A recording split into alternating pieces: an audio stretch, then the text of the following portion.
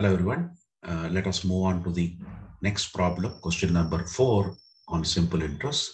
Calculate the rate of interest at which rupees 750 will amount to rupees 825 in five years. Here actually it is better on simple interest basis.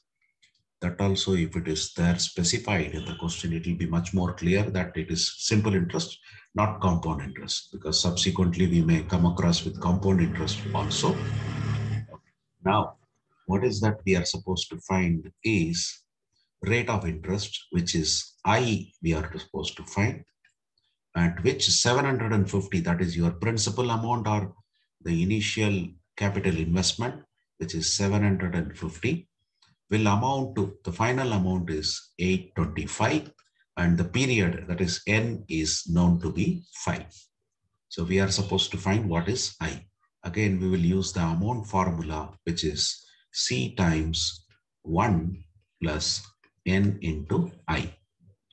Or 825 is equal to 750 times 1 plus 5i.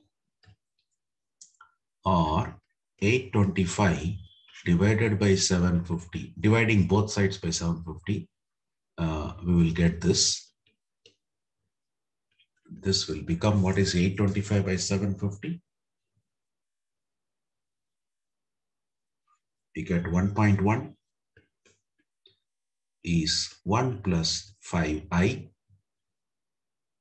or this 1.1 take that 1 to the left side 5i or we can say 0.1 equal to 5 times i which means i is 0.1 divided by 5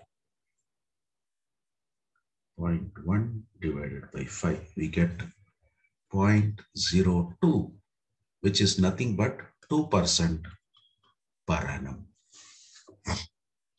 That is the solution for this particular problem, right?